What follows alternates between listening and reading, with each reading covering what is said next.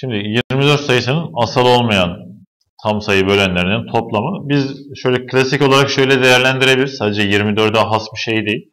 Ama 24'ü 24'ün dışındaki sayılarda da uygulayabiliriz. 24'ü çarpanlarına ayıralım.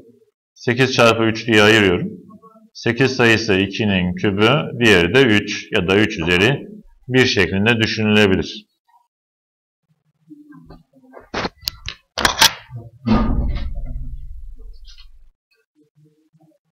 Şimdi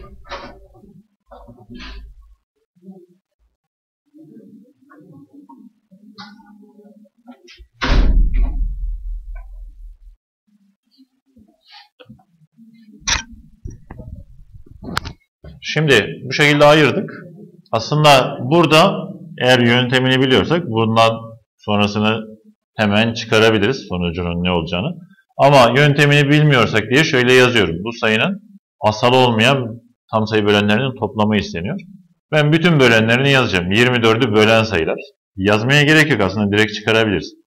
1 böler, şimdi 2 böler, 3 böler, 4 böler, 6 böler, 8 olacak. 12, 24. Bir de bunların negatifleri.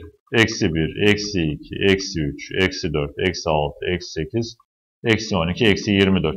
Şimdi bizden istenen asal olmayanların toplamı. Asallara bakalım. Kim asal? 2 asal atıyorum. 3 asal bunu atıyorum. Bunların toplamını istiyoruz. Biz bunları toplarsak asal olmayanların toplamını alırsak şöyle. Şu ikisi gidiyor ters işaretli. Bunlar da gidecek. Şunlar, bunlar, bunlar, bunlar gidecek. Geriye sadece iki tane sayı kalacak. Eksi 2 ve eksi 3.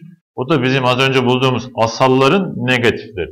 Yani asal olmayanların toplamı isteniyorsa aslında asalların negatifleri kalacağı için geriye bu toplam eksi 2 eksi 3'ten eksi 5 olur.